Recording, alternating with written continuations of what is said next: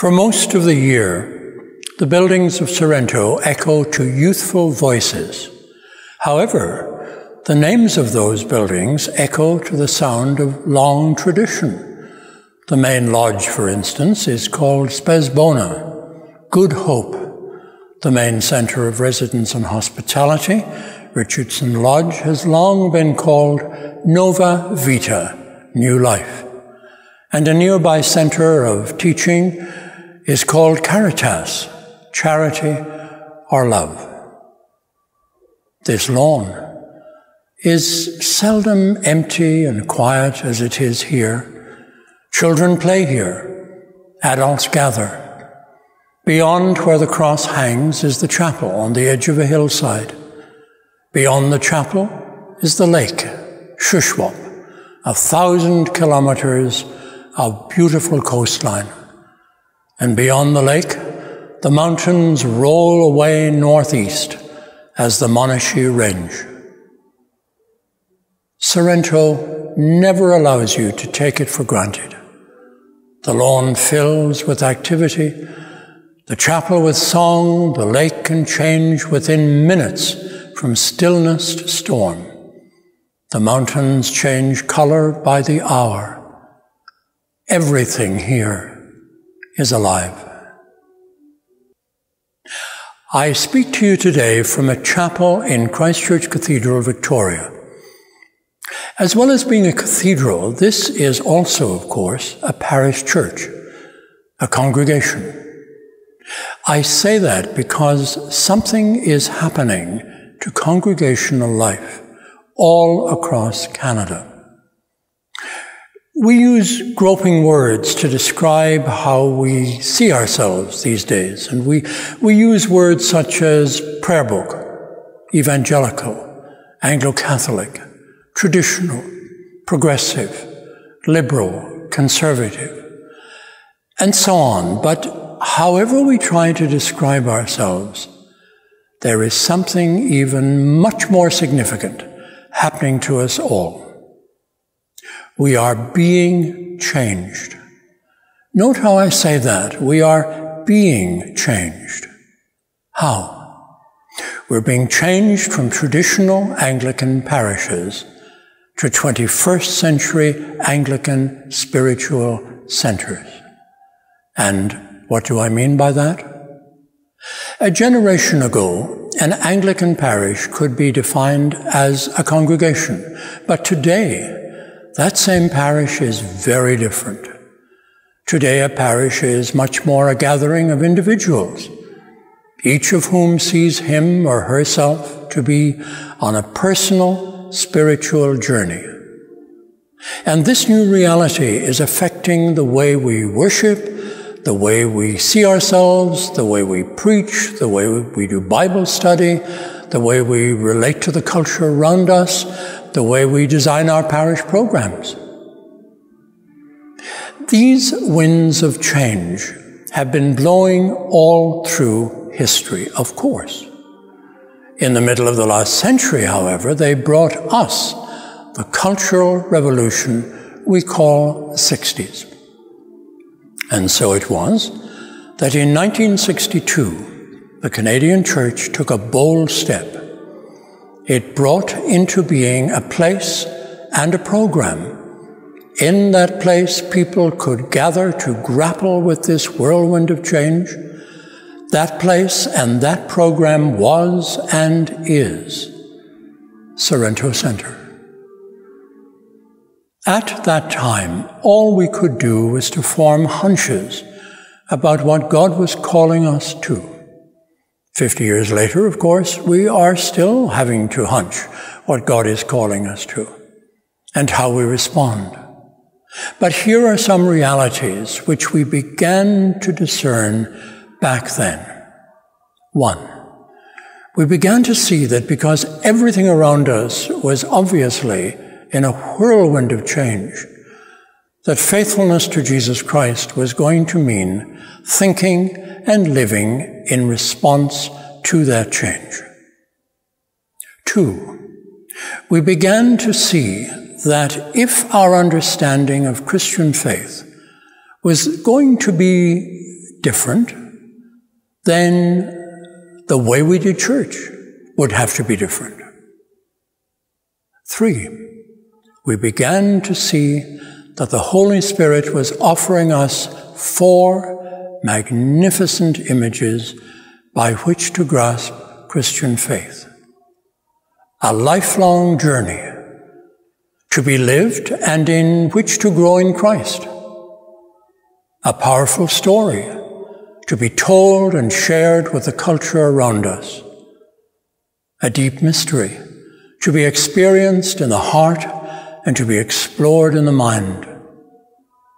A magnificent song, a song to be sung not only with our voices, but by our lives, personal and professional, lived out in the world of our time.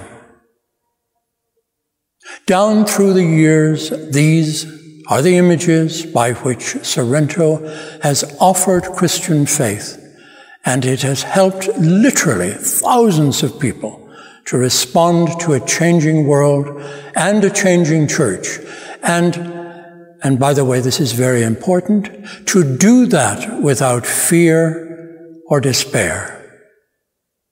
Why is that important? Because you see, among the many ways in which we respond to great change can be fear or perhaps even anger or despair.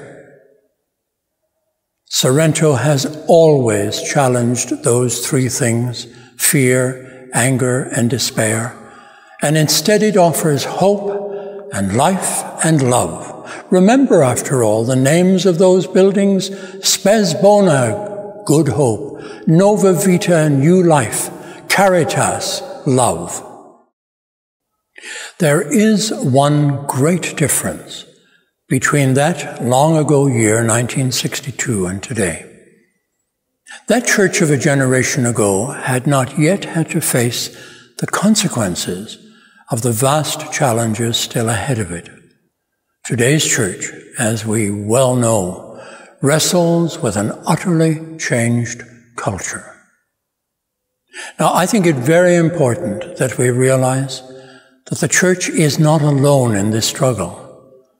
It's easy to forget that the same is true of political parties, great corporations, healthcare delivery systems, educational institutions, even the traditions of the world of law wrestle these days with societal and cultural change. In all this, one of the really valuable gifts a Christian possesses is that we share a very long story. When we check out that story, we see some very interesting patterns. I want to bring one of those patterns and bring it into focus. Let's go on a time journey.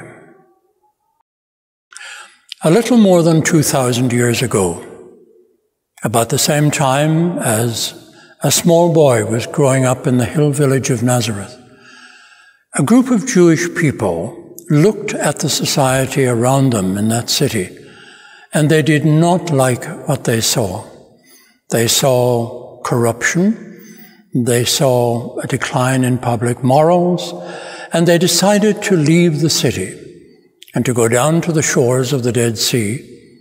And down there they formed what they thought of as a center of intentional Jewish spirituality.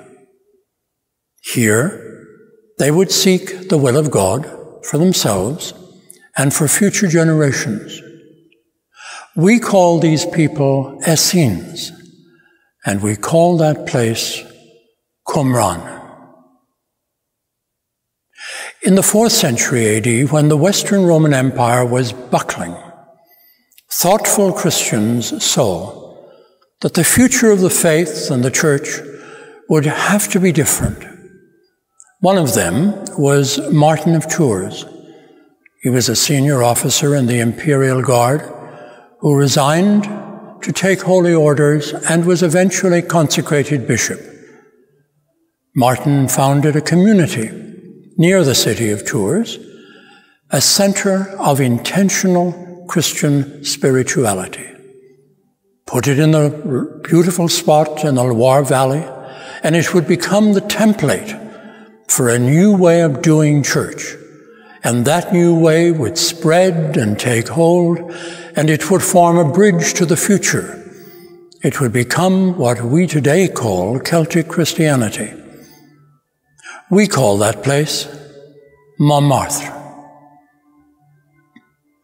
In 563 AD, a group of young men would risk themselves to the most dangerous tidal race in the North Atlantic. Sailing and rowing from Ireland to Scotland, they would eventually beach their pathetically small boat at the south end of a tiny, three mile long island. Today, after 1500 years, that island is still a center of 21st century intentional Christian spirituality. We call that place Iona. In the early decades of the 20th century, a Presbyterian minister named George MacLeod would bring to Iona young people from the depression ridden slums of Glasgow and together they would rebuild the ruined abbey on Iona, and in it they would form a center of intentional Christian spirituality. In the last decade of the sixth century, when the dissolution of the Western Roman Empire was complete, and when Rome itself had gone from being a city of nearly a million people to one of less than 50,000, the genius of two young men, the monk Benedict and the bishop Gregory, brought into being a new kind of center of intentional Christian spirituality. They called them monasteries. And these centers would help to birth the Middle Ages. The first would be on a hilltop south of Rome, and we call that place Monte Cassino. In 1944, a young Protestant pastor named Roger Schutz came to a small town about 250 miles southeast of Paris. Schutz could clearly see the weakness of the post-war institutional churches. So he and his sister bought a house in which a small community formed. Roger Schutz's vision was of a center of intentional Christian spirituality. From that center, the work would become worldwide, especially among youth. We call that place Taizé. In 1962, the Anglican Diocese of Western Canada looked at a green field with a few scattered buildings. It lay between the Trans Canada Highway and a vast lake. And they not only looked, but they acted. They brought into being a center of intentional Christian spirituality. We call that place Sorrento Center. Qumran, Marmoutier, Iona, Monte Cassino, Taizé, Sorrento Center. Every one of them centers of intentional Christian spirituality. All of them being formed in times of change and challenge, and all of them nourishing a struggling institutional church. For 50 years, Sorrento has offered itself to the church as a doorway into the future, the future of Christian faith. And I've tried to point to what I think is a very significant pattern in our long Christian story. Again and again, when the institutional church was struggling in the face of massive change, God guided us into forming centers of intentional Christian spirituality. If this is true, I offer you this thought. Because today's church is struggling in the face of immense change of every conceivable kind. It is even more essential than ever to keep open a doorway to the future, a doorway through which we and our children and our grandchildren can go to seek the forms of tomorrow's church and tomorrow's faith. From its first day, Sorrento has been and is such a doorway to the future. In the late summer of the year 563, Columba and his band of young monks landed on the shingle beach that is at the south end of Iona. They were probably drenched and exhausted. Columba left the boat and began to walk towards a nearby hill. A young monk called out to him, But father, the island is so small. And Columba turned and said very gently, My son, it is small, but it will be great. I commend Sorrento to your prayers, to your most serious thinking, and to your generosity. Thank you.